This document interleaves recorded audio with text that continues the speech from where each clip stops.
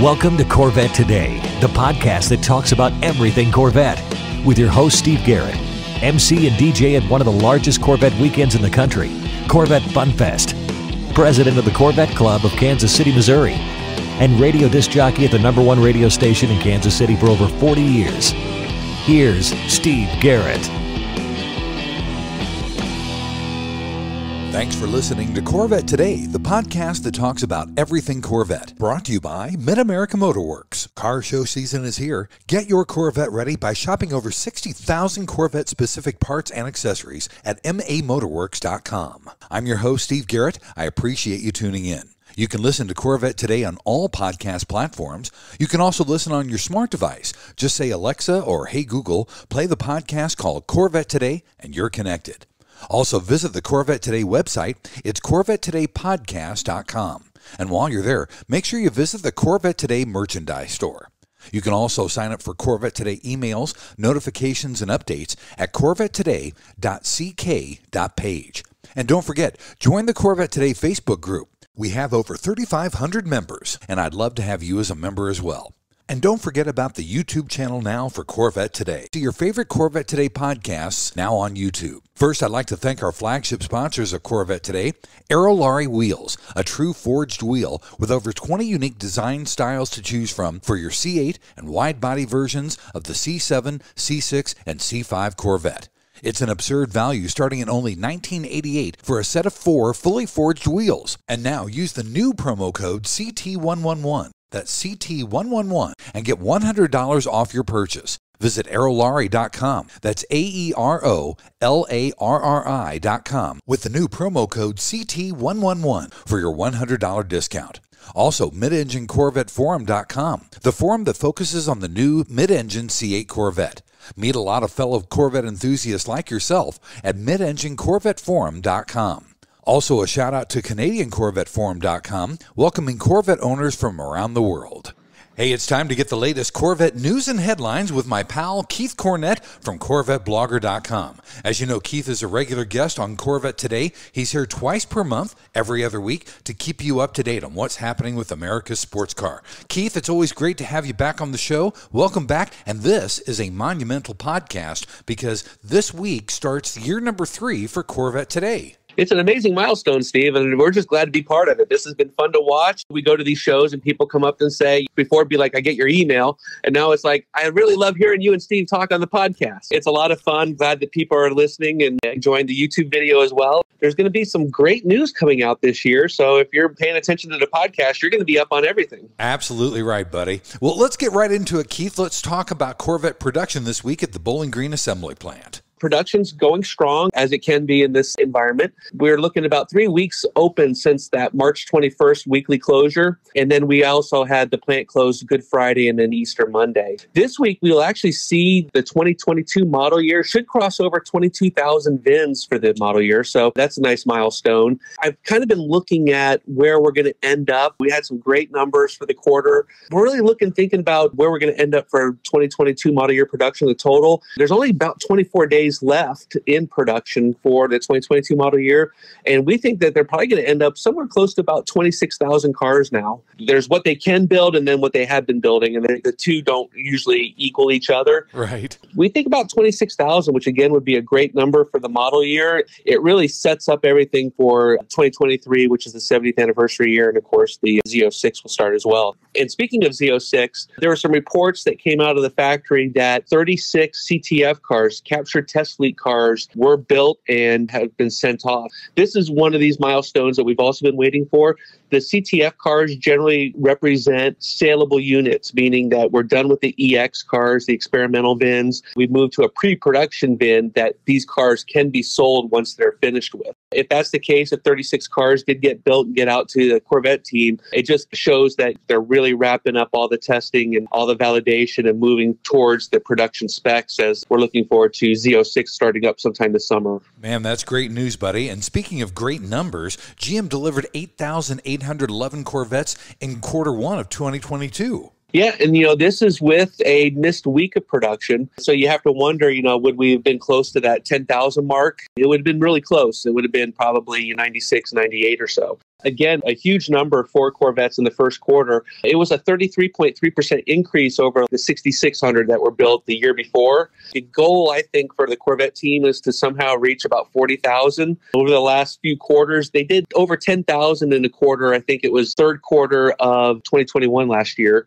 And then we've had a couple in the high eight. So they're very close to being able to do 40,000. And again, it's just whipping the supply chain into shape and making sure that we can get everything that we need to do those cars. So another great quarter production for Corvette. Ben, that's the one variable we have no control over is the supply chain. So if it wasn't for all the outside factors, we probably would have 40,000 cars. That would be so cool.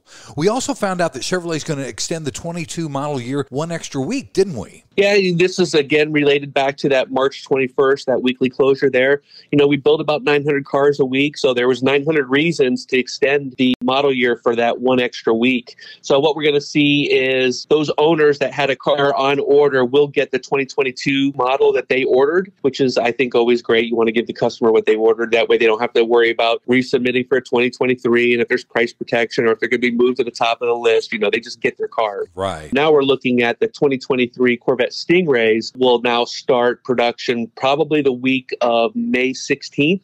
Although, as we get closer, sometimes they'll wrap up their final cars on the Thursday or Friday before, and they might actually start a little bit early. So we'll just have to wait and see. But that's the goal right now. May 16th, we'll start the Corvette Stingrays. And then again, later this summer, sometime, we'll have the Z06 start production. And also, speaking of Stingrays, we saw that the visualizer has launched some new updates, and also the Z06 visualizer has some updates too. Isn't that correct? Yeah, we've been waiting for this, you know, and of course we had already the first order cycle, so people were putting together cars that they didn't know what they looked like, and especially what I'm talking about is like the 70th anniversary Stingray. When Chevrolet rolled out the package for the 70th anniversary, they showed it only on the Z06. We knew what kind of look for, but you know, there's nothing like seeing it in your head and either a rendering or in a visualizer. Now you can go see the 70th anniversary visualizer for the Stingray. You can play with the two different colors there. You can add stripes. The new 20 spoke wheels are shown, and there's a new wheel actually that kind of surprised us. We didn't see this in the order guide, but it's a Tech Bronze wheel that is a LPO, meaning that it's a dealer installed option. Oh, It's Tech Bronze and it's a 20 spoke design. So it's the same design as you get on the 70th anniversary. It's just this bronze color, which really looks nice, I think. The other thing, too, that you can do is the 70th anniversary wheels are 20 spoke wheel. They're in carbon flash metallic with a edge red line around the rim. While those will go on the 70th anniversary cars, that's a free flow option. So you can actually order those for any Stingray during the model year as well. So that was, again, another nice surprise. Those red line wheels look great on black cars, I think, because it offers that color. And especially if you tie in the edge red calipers, I think that just is a great look. Some of the other changes, of course, we saw a new carbon engine bow for the Stingray. That's something that we saw at SEMA last year. So that's something that's new. And then we also got Z06 update. One of the really neat things is that there's now this Jake hash mark, but instead of appearing on the front fender, it appears on the rear fender. It's definitely an interesting look. There's other things too that are changes. Uh, you can get your Z06 badge in red. You can now with the visualizer, when you play with the cars, you can add the racing stripes to the 70th anniversary builds. And on convertibles now, you can play with the black nacelles and roof options, which that wasn't available before. So you're getting more and more updates to the Z06 visualizer. And of course, it's happy to see the Stingray visualizer for first time. I'm assuming that we'll probably see the build and price configurator for Stingray sometime around when production starts. That's generally when it falls. When you build out your car, it'll give you a price of all the options as well. So hopefully we'll see that soon. But yeah, this was a good week for just being able to see these and, and play with them and spin them around and what do they look like. The visualizers are a lot of fun and we spent more than a few hours messing around with cars in them. So hopefully you have too. You picked out your perfect build for 2023. Keith, I know when it came out on CorvetteBlogger.com, I immediately went to the visualizer and I think I looked up and it was like a little over two hours that I was playing with the Stingray and the Z06. It's like, oh my gosh, where did the time go? Where did the time go? Yeah, it is definitely a time suck when you're really into it and you're doing stuff. It's funny too because for years you'll go through and you you know there's no real I'm looking I'm looking but I'm not wedded to anything. But ever since the C8 came out, I love the convertibles. You know I love some of these different options that you got to have, and so you're always trying to work those into the build and then play with the new stuff. So it's definitely a fun thing to do. Absolutely right. Also, at the National Corvette Museum, we got news that the Hot Wheels Race to Win exhibit comes in May of 2022. Yeah, this is, should be a fun one. It, it opens after the bash. It actually comes May 27th and it'll run through September 25th. It's a fun family oriented display. It comes from the Children's Museum out of Indianapolis, which helped put it together.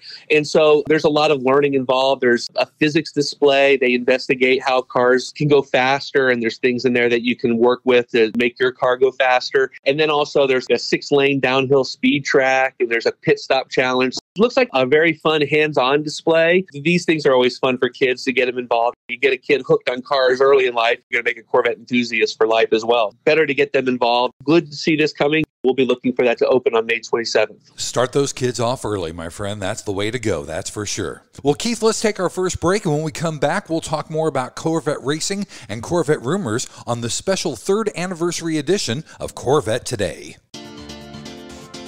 The Radiator Grill Store offers protection for your C8's front radiators and side intakes. They also carry front strut tower covers to prevent rusting and pooling water, all with do it yourself installation. Get 10% off your total purchase with promo code CT10. See the full line of products at radiatorgrillstore.com. Mid America Motorworks has been the industry leader and aftermarket supplier and manufacturer of Corvette replacement parts and accessories since 1974. We have what you need for all years and generations of Corvette. Whether you need a door panel or seat cover for your C1 Corvette, or the latest shirt, jacket, hat, or lifestyle accessory to complement your new C8, you can get it at Mid America Motorworks.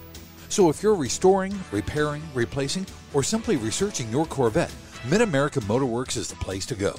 Visit our website at mamotorworks.com and shop Corvettes by generation or specific year.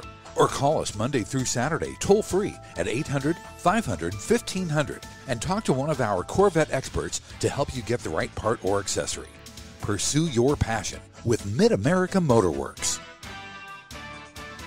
VetteFinders.com is the internet's original Corvette classified ads website, with classified ads starting at just $25. And every ad runs until your Corvette is sold. If you're in the market for a Corvette, VetteFinders.com has over 500 Corvettes for sale from all around the USA and Canada and covering all eight generations. Visit VetteFinders.com, the internet's destination for buying and selling Corvettes. That's V E T T E Finders.com. And now, back to Corvette Today with your host and my husband, Steve Garrett. Hey, thanks for listening to the special third anniversary edition of Corvette Today, the podcast that talks about everything Corvette. Brought to you by Mid America Motorworks. Car show season is here. Get your Corvette ready by shopping over 60,000 Corvette specific parts and accessories at mamotorworks.com. I'm your host, Steve Garrett. With me every other week is Keith Cornett from CorvetteBlogger.com. Don't forget, if you want a deeper dive into any of these stories we talk about on the show, you can always go to CorvetteBlogger.com. In this second section, we're going to talk about Corvette racing and Corvette rumors. First off, Keith, we have results for Corvette racing at Long Beach, don't we? It was a good week for Corvette racing, although some interesting stuff happened. This is the third race of the season, and it was the first sprint race for us. The first two are big endurance races, so now we're in a sprint race. Of course, IMSA made some more changes to balance the performance leading up to it, and we got dinged a little bit, but not too bad because of the way that Long Beach is, it's a 100 minute sprint race, and you essentially get one pit stop and the one driver change in the middle of that. So if we can get out in front, the idea was that passing is just very hard there. There's only a couple places that you can pass. The team really set themselves up for a fast run during qualifying. And sure enough, Jordan Taylor did get the pole position on his very last lap of qualifying. It took a little bit, the fuel burned off, and then he was able to just snag it there at the very end. Once the race started, then he was out in front for that first part of that race. So everything's looking good. We go into the pits for a pit stop, and as the car left, we learned that there was an incident in pit lane. And this is the craziest thing. If you haven't seen this video, you've got to see it. So, as the tire change guy, his name was Alex, he's doing the right front tire. These guns, they spin these wheel nuts at about 15,000 RPMs or so. So he spun the wheel, and you see they pull the wheel gun out, and the nut falls out of the end, and it spins, and it goes down pit lane.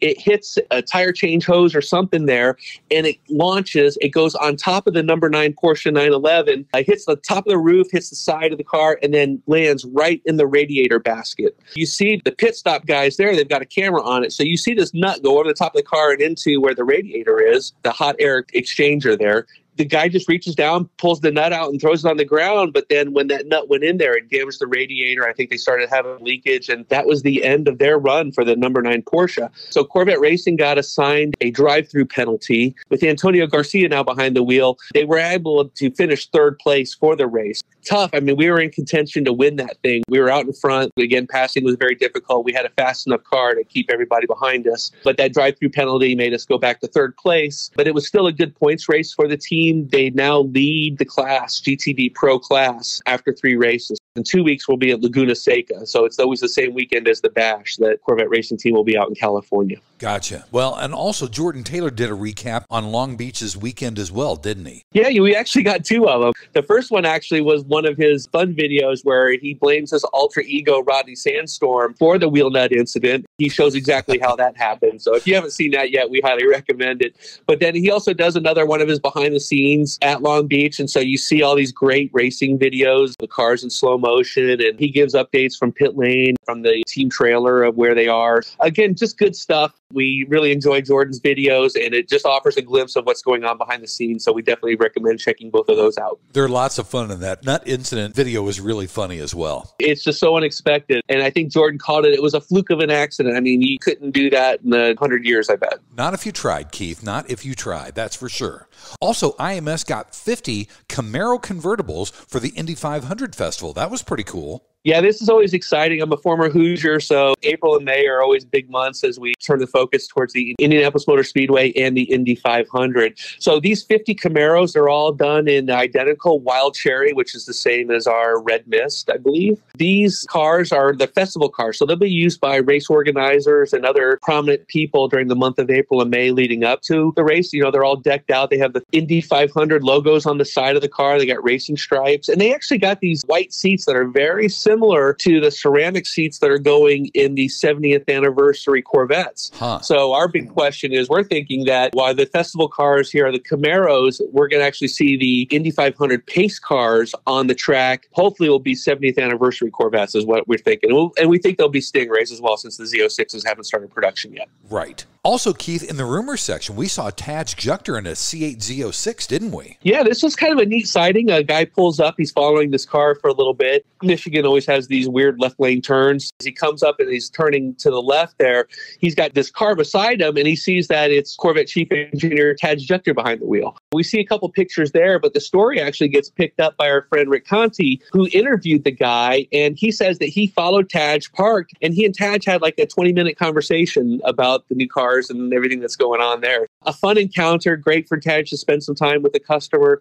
I don't know if we're going to see Tadge at the Bash this year. He might be out in California. They always do a, like a Corvette racing dinner out there for Laguna Seca. Anytime you can talk to the chief engineer about Corvettes, that's time well spent in our book. Absolutely right. Also, we saw a right hand drive Z06 in a parking lot here in the United States, didn't we? Yeah, this one's filed under the category of you don't see that every day. Some guy came across a, it looked like a ceramic gray Z06 that was parked in a parking lot. When he came up closer to it, he saw that it was a right hand drive model. We've already had the folks down in Australia confirm that the Z06 is coming there in right hand drive configuration. They announced that the day after the reveal of the car back in October. So we know it's coming, but to actually see it, I'm sure is good news there. And of course, not just Australia, but New Zealand, the UK, Japan will all get these cars as well. And they're turning out to be big sellers there based on the right hand drive configuration, where before, you know, they had to drive with just the regular left hand, so they didn't sell as well. It's all good stuff happening there. And just another indication that these cars are real and they'll be coming down under real soon. That's true. That's true. And probably one of the biggest rumors we saw in the last two weeks there was a sketch by GM Design that had everybody talking about an electric SUV Corvette. Yeah, I mean, it was obviously a racy looking drawing, but there was a very boomerang looking element that was put on the doors that makes you think, hmm, you know, I wonder why they'd be putting an air intake back there, unless it's just really a takeoff on making it look like the Stingray. So, something to that. I know that we're going to see some sort of hybrid or an electric SUV, smaller SUV that might have some Corvette characteristics involved. Of course, a lot of the Corvette designs already carried through much of Chevrolet, the grille design, wheels, and some some other things. Tail lights generally are a focus. It's not that far off the realm that we'll see an electric SUV that might have some very Corvette design characteristics with it. Very cool. Well, buddy, let's take our final break. And when we come back, we'll talk about the lighter side of Corvette on the special third anniversary edition of Corvette Today. Are you ready for a better insurance policy without the Corvette tax? With agreed value protection, the value of your collector vehicle will never change. Plus, you'll save money. Get a quick quote at ncminsurance.com. Hey, honey, are you awake? Mm, I am now. I can't sleep. Since turning 50, I keep dreaming of a red door and a blue door, somehow knowing there are only choices for retirement. Okay. Through the red door, we outlive our money. We have to rely on our kids. We're stuck on a fixed income. It's terrifying. Yeah, that would suck. But through the blue door, our money outlives us. We retire on our terms. Our kids stay our kids, not our caretakers. We make work optional. Yes, that's much better. That's what I want too. But what do we do? We call True Wealth and Company at 913-653-8783. They specialize in helping successful people make work optional. They're our fiduciary Blue Door personal wealth managers. Hey, where are you going? It's 3 a.m. I can't sleep. I'm going to check out True Wealth and Company online at retirewithtrue.com. That Blue Door is going to be our retirement. 913-653-8783. Visit us online at retirewithtrue.com. Investment advice offered through True Wealth and Company LLC, a registered investment advisor in the state of Kansas. American Hydrocarbon is your one stop shop for custom interior, exterior, and engine bay items for your C4 through C8 Corvette. We can help you create a custom look for your Corvette with carbon fiber or 10 different color patterns and styles. Whether it's a custom made engine cover for your new C8 mid engine Corvette or custom made C4 interior upgrades, American Hydrocarbon can help you transform your Corvette into a best in class show car. And now we're proud to announce that we can produce and distribute officially licensed GM products for the C8 Corvette. That includes the front splitter, side skirts, engine appearance panels, and engine fluid caps. Plus, we now also carry the C8 Speedline side skirts along with the engine appearance package and high wing. Our products have been featured in Vette and Corvette magazines. Give us a call, 813 476 5638. Visit our updated website at AmericanHydrocarbon.com or email us at pat at AmericanHydrocarbon.com. Let us help you make your Corvette the car you've always wanted it to be. American Hydrocarbon. Stretch the life of your Corvette's paint with Nova Stretch, the performance protective cover. From bugs to rock chips, Nova Stretch covers protect your C5 through C8 Corvette, utilizing stretch fabric technology and an innovative fastening system for quick installation and easy removal and storage. Made in the USA for a tailored fit, the patented design and breathable mesh protects your Corvette without rubbing or chafing the paint like traditional covers. And unlike clear film or old-time car bras, Nova Stretch provides full front-end coverage including the grille, keeping radiators and heat exchangers clean and debris-free. Visit novastretch.com and use the code Corvette Today 15 to get 15% off your order. Protect your Corvette with Nova Stretch. You're listening to the Corvette Today podcast with Steve Garrett. Hey, thanks once again for listening and viewing Corvette Today, the podcast that talks about everything Corvette. Brought to you by Mid America Motorworks. Car show season is here. Get your Corvette ready by shopping over 60,000 Corvette specific parts and accessories at mamotorworks.com. I'm your host, Steve Garrett. With me every other week is Keith Cornett from CorvetteBlogger.com. And don't forget, if you'd like to learn anything more about the stories or topics we talk about, you can always go to CorvetteBlogger.com and get the full story. Keith, in this final section, we'll talk about the lighter side of Corvette. You and I were both watching Barrett Jackson last week, and we saw Rick Hendrick buy the first production C8 Z06 hardtop convertible for one million dollars. Yeah, you know, and this completes the set for him because he spent $3.6 million to buy the VIN 001 of the coupe. This is pretty cool. He's got the collection here. This is the first retail version. You know, they don't have a VIN 1 for the convertible because the coupes and convertibles, they'll share the VIN structure. So the VIN 01 was the coupe, but then this is the first retail. So whatever that comes up will be is what he gets. He can build this car however he wants to, unlike the coupe, which was the 70th anniversary version. And if you watch the video, it was pretty cool. We talked to Dale Ledbetter, who works with Hendrick, and he was actually behind him there. You see him in the background. He said that it was kind of a special moment because Hendrick's grandson was there with him. Together, when Hendrick bought one of the C7 Z06s, they did the engine build program together. Dale says that it looks like his grandson will also join Rick when they do the engine build on the LT6 for the Z06. So that should be fun. And again, you turn a kid into a Corvette enthusiast early, and he's going to be there for life. So great job there. Chevrolet does these for fundraisers and charity, and the proceeds of this auction went to the Thurgood Marshall College Fund, which supports historically black colleges and universities. Great for Chevrolet to offer this up for this charity event. Rick Hendricks stepped up and, and spent a million dollars of his money to get the car. A fun event and glad to see it. That was really cool to watch. Also, a 1986 Corvette pace car brought $1.76 million at Barrett Jackson, and all that money goes to help Ukraine humanitarian relief efforts, doesn't it? Yeah, this was an auction. They had the 86 pace car, and then it was combined with a modern Shelby Ford Super Snake, 700 and some horsepower. So these two cars together were offered. When the auction concluded, again, it was Rick Hendricks stepping up and adding a million dollars to that car. He got that one and the Shelby Super Snake. But what was really cool is after the auction concluded, there was a bunch of people there that also raised up their hands and said, We also want to donate above it. So they actually raised the 1. $1.76 million, with 760000 of that coming after the final bell rang. As this was in Florida, our governor DeSantis was there. He got to actually start the auction and hammer it. And then they had uh, actual family members of one of the people that donated the car. His wife is Ukrainian, and so they actually have family that's come over as, as basically refugees. And they were on stage as well holding Ukrainian flags. Nice to see money raised for these refugees. The money actually goes to Samaritan's Purse, which does great work with these kinds of things. Again, just great to see people step up and do some good for the neighborhood out there. What a great story and what a great contribution. That was fantastic. We also found out that our friend Amelia Hartford has some more trouble with her C8 Corvette, doesn't she? Yeah, we tuned in again. She actually had her car back on the track. They've been playing with clutch setups and they had some R&D clutches in there now and they felt that as they were turning up the boost on the car it was just starting to slip again. Her latest video does show all that racing action, but what happens is when they got back and they were going to actually take out those clutches and put in a new set of clutches from Sissio Performance, they found a milky white substance in their oil, so they were kind of freaking out there. Sounds like they're going to do a complete engine rebuild on the car and actually it's going to be at LS Fest West in Las Vegas, April 22 to 24. So there's some big stuff happening out there. And if you get a chance to see Amelia's car at Phoenix run, that's always great to see, I think. She still says they're going for the eight second mark. They've got the third fastest time as far as we know, so they could actually do it. Good luck to Amelia. She's had a crazy run with that C8 Corvette. I hope it all turns out really, really well. Also, the Bowling Green Fire Department picked up a new C8 Corvette from the National Corvette Museum.